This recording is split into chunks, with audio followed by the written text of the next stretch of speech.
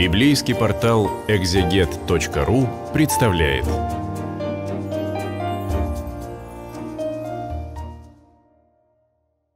Здравствуйте, это видео для библейского портала экзегет.ру и завершая разговор о первом послании апостола евангелиста Иоанна Богослова, мы обратимся к последней, заключительной пятой главе. Снова как нечто чрезвычайно важное для него.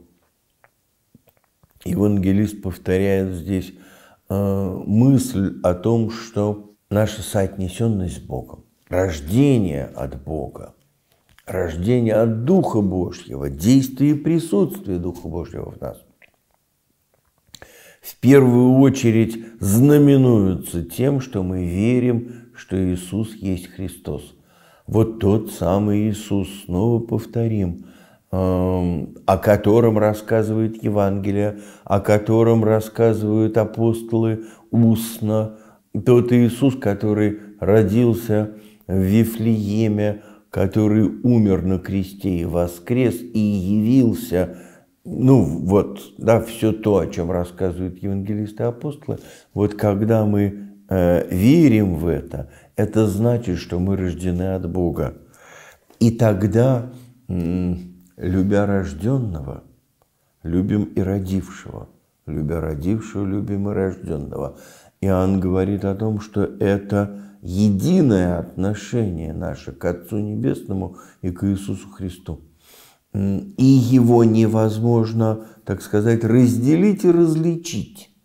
Он не предлагает здесь догматических рассуждений о отношениях лиц Троицы еще до вообще до появления понятия Троицы еще лет 30 остается в тот момент, когда пишется это послание.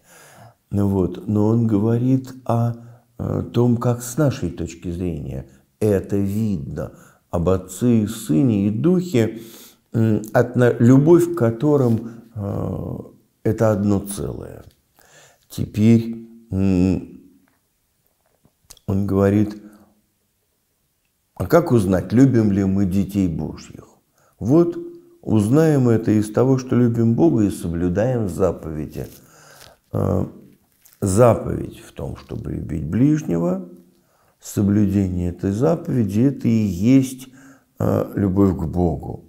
Ибо это есть любовь к Богу, чтобы мы соблюдали заповеди Его. Дальше мысль евангелиста вот в какую сторону поворачивается, буквально на пару строк, что э, любовь к Богу в том, чтобы мы соблюдали заповеди.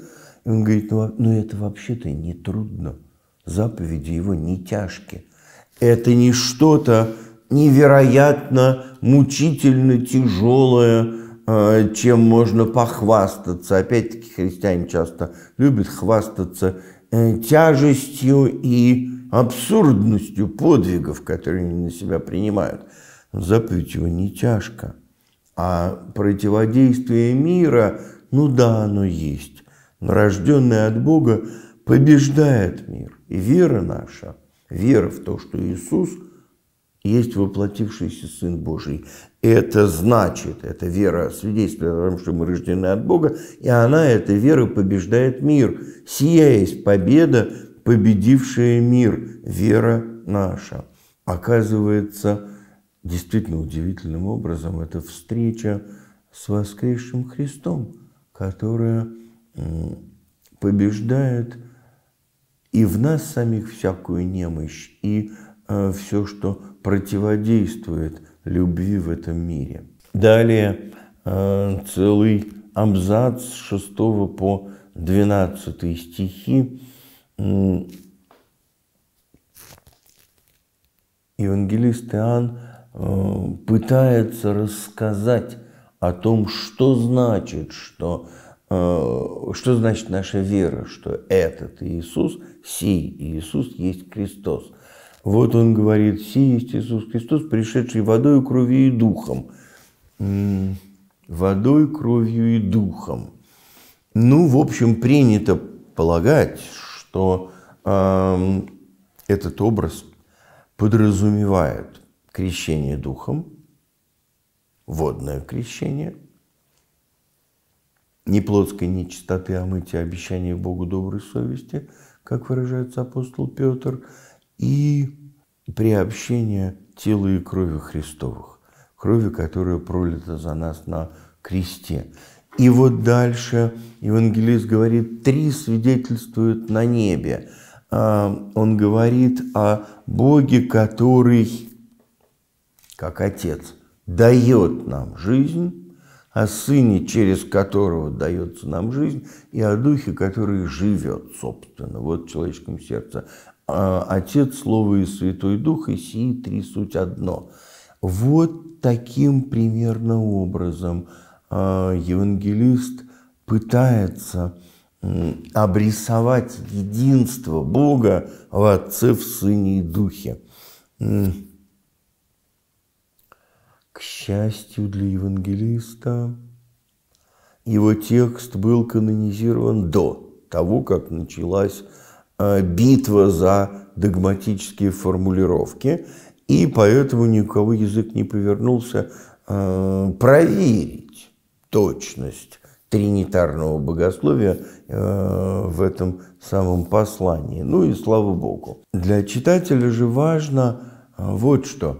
Он говорит нечто труднопостижимое о Боге, о том, что Отец, Слово и Дух свидетельствуют на небе и на земле Дух, вода и кровь. Дальше нам-то что? Для нас это что? Вот он говорит, если мы принимаем человеческое свидетельство, рассказа людей – то Божье свидетельство больше, больше. И верующий в Сына Божьего имеет свидетельство в себе самом. Во-первых, вся сложная и еще пока трудно формулируемая тринитарная вера, у него все равно э, вера в Сына Божьего, в то, что Иисус есть Сын Божий, тот самый Слово, которое от Отца и которые в духе. Вот. И он говорит удивительную вещь. Верующий в Сына Божьего имеет свидетельство в себе самом. А, правда? Если ты поступаешь по любви, то у тебя есть свидетельство присутствия Бога в тебе. Доверие э, тому, что Иисус есть Христос, и Слово Его таким образом есть Слово Бога, это доверие, оно само подтверждает себя на практике и в опыте человеческом. А, свидетельство состоит в том, что Бог дал нам жизнь вечную, и эта жизнь в Сыне Его. Потому что Сын воскрес, пребывает вовек – и мы приобщаемся плоти и крови Сына Его, э, Сына Божьего, каждое воскресенье минимум. Ну, в те времена, в общем, преломление хлеба совершается почти исключительно по воскресеньям. Жизнь в Сыне Его, жизнь в том, чтобы быть в диалоге со Христом – в том, чтобы исполнять Его заповеди, в том, чтобы думать о Нем и помнить, как о Господине, твоей сегодняшней реальной биографии, твоих поступков, твоих трудов, твоих отношений с людьми, твоих мыслей и молитв, вот присутствующим Господином. Вот что значит жизнь в Сыне Его. И поэтому еще раз то же самое, он говорит, имеющий Сына Божьего, тот, кто вместе с Сыном Божьим, перед Его лицом существует, имеет жизнь. И, соответственно, он заключает уже в самом конце, я написал-то вам это, вам, верующим в Сына Божьего, чтобы вы, веруя, имели жизнь вечную, чтобы вы пользовались этим источником, чтобы вы переживали это экзистенциальное единство с Богом, и чтобы его жизнь действительно была в вашем сердце, чтобы это было не просто знание о, а практика и реальность жизни. И поэтому, собственно, видите, он говорит о дерзновении, что когда мы просим по воле Его, Он нас слушает. Речь идет о практических вещах. Мы просим Бога и вот э, получаем просимое. Хотя, конечно, нельзя не заметить, а, очень важную вещь. Мы просим по воле Его. Не просто потому, что там мы так захотели, нам это нужно, объективно и так далее. Те, кто верит в Сына Божьего, и просят тоже в Нем по Его воле. И получаем просимое от Него. Еще один очень важный момент с 13 по 15 стих, буквально несколько слов, где Иоанн говорит о том, что вообще-то есть некоторые развлечения в грехах, грех к смерти и не к смерти. Тот, кто ведет, влечет за собой смерть и не влечет за собой смерть. Он в предыдущей главе говорил о том, что всякий дух, исповедующий Христа, пришедшего во плоти, есть от Бога. Стал быть, если человек исповедует, что Иисус есть Христос, пришедший во плоти, ну, какие-то у него еще при этом есть ошибки. Вероятно, это ошибки, грехи, провинности, то, что исправляет путь любви, то, что может быть исцелено. Это значит, что такой человек не отлучен от жизни. Это грех не к смерти. Не к смерти. Есть шанс, есть возможность, есть все для того, чтобы э, исцелить. И э, об, об этом он предлагает молиться – он, вероятно, говорит, ну не изгоняйте таковых. Ну мало чего у кого вещи какие-то в голове, идеи какие-то. Он Иисуса исповедует Сыном Божьим, исповедует. По любви пытается поступать, поступ, пытается. Молитесь за него, чтобы Бог его поставил прямо. А есть вещи, которые убивают душу, убивают человеческое сердце – а, вот этого надо избегать. И о том, как с этим быть и как тут молиться или не молиться, евангелист вообще умалчивает. Это такая, вероятно, вставка, имеющая в виду конкретные ситуации того времени, той эпохи, но и э, к нашей сегодняшней жизни тоже, мне кажется, это имеет смысл э, ну, применять.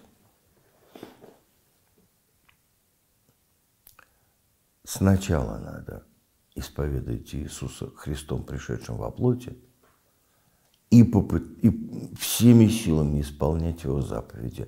Остальные грехи Господь очищает по молитвам э, церкви и освобождает, избавляет человека от них. И, наконец, в самом конце евангелист говорит о том, что еще раз вам повторяю, рожденный от Бога не грешит. Значит, вот все, что он говорил, любить надо. И тогда ты, если любишь брата, значит, видишь, что ты во свете. Нет, нет. Вот рожденный от Бога не грешит, а, но хранит себя и зло не прикасается к нему. Мне кажется, знаете, иногда, что евангелист пытается найти какую-нибудь формулировку, которая врежется навсегда, запомнится навсегда его читателю и будет в голове читателя работать. И, наверное, у каждого человека такая формулировка из этого послания есть. И, наконец, он говорит э, в последних стихах, мы знаем, что Сын Божий пришел и дал нам свет и разум – чтобы мы знали Бога истинного и будем в истинном Сыне. Дал нам свет и разум для того, чтобы мы могли правду о Боге видеть, понять и реализовать в своих поступках. Вот дал нам это какое-то удивительное просвещение в реальной, конкретной настоящей посюсторонней жизни здесь и сейчас. Сын Божий пришел и дал нам свет и разум. Не где-нибудь, когда-нибудь мы, может быть, получим. Сейчас нам это дано, а, чтобы мы а, познали истинного Бога и были а, в Его истинном Сыне живы, потому что Его Сын Иисус Христос и есть истинный Бог и жизнь вечная. Вот что такое жизнь и для чего, и о чем благовествование. Вот с этого евангелист, в общем, начинал послание, и э, такое же заключение на эту же тему. Да, вот